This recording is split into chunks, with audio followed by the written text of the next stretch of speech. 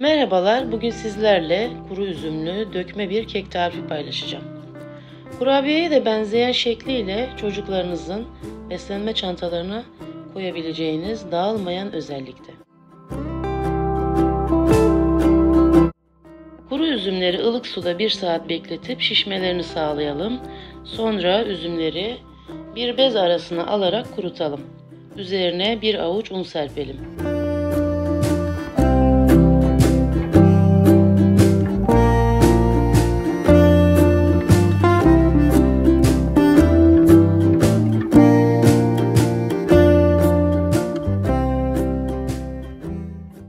Oda sıcaklığında yumuşattığımız yağı, şekeri, sonra yumurtayı krema kıvamına getirene kadar çırpıyoruz.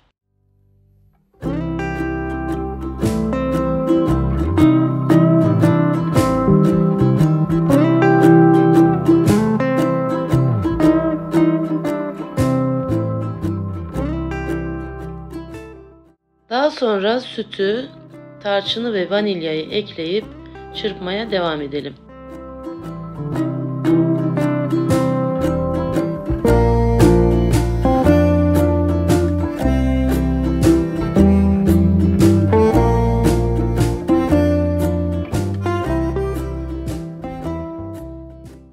Birlikte elediğimiz unu ve kabartma tozunu karışıma ilave ediyoruz.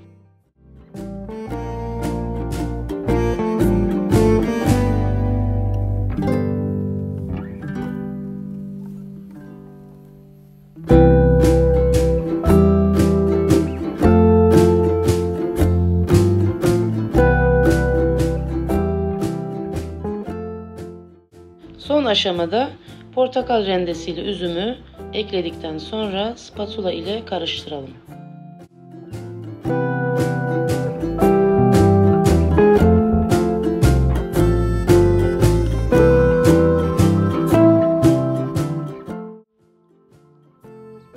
Kek harcını yağlı kağıt serilmiş tepsiye 2 kaşık yardımıyla dökelim.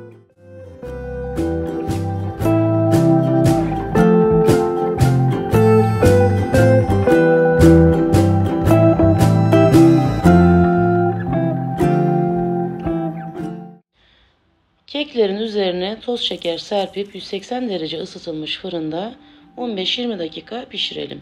Hepinize şimdiden afiyet olsun.